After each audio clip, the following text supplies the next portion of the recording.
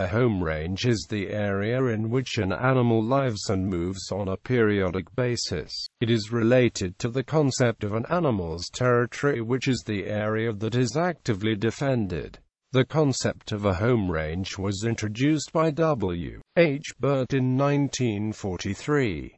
He drew maps showing where the animal had been observed at different times. An associated concept is the utilization distribution which examines where the animal is likely to be at any given time. Data for mapping a home range used to be gathered by careful observation, but nowadays, the animal is fitted with a transmission collar a similar GPS device. The simplest way of measuring the home range is to construct the smallest possible convex polygon around the data but this tends to overestimate the range. The best known methods for constructing utilization distributions of the so-called bivariate Gaussian and normal distribution kernel density methods. More recently, non-parametric methods such as the Burgman and Fox's alpha hull and Getz and Wilmers local convex hull have been used. Software is available for using both parametric and non-parametric kernel methods. History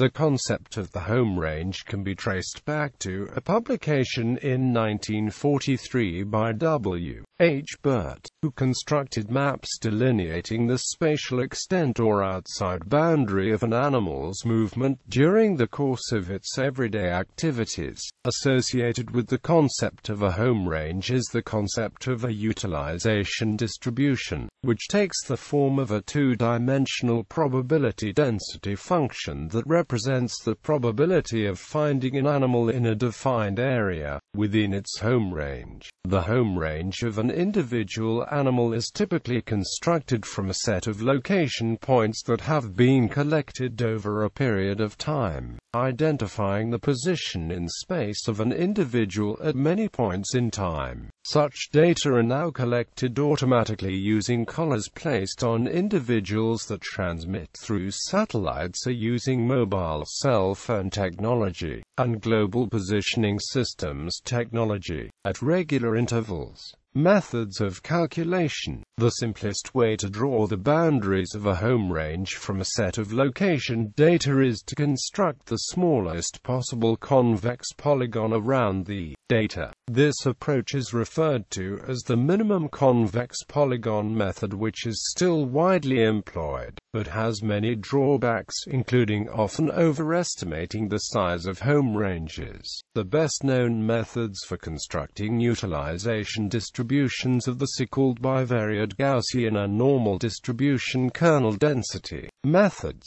This group of methods is part of a more general group of parametric kernel methods that employ distributions other than the normal distribution as the kernel elements associated with each point in the set of location data. Recently, the kernel approach to constructing utilization distributions was extended to include a number of non-parametric methods such as the Burgman and Fox's alpha hull method and Getz and Wilmers local convex hull method. This latter method has now been extended from a purely fixed point LoCoH method to fixed radius and adaptive point radius LoCoH methods. Although currently more software is available to implement parametric than non-parametric methods, the cited papers by Getz et al. demonstrate that LoCoH methods generally provide more accurate estimates of home range sizes and have better convergence properties as sample size increases than parametric kernel methods.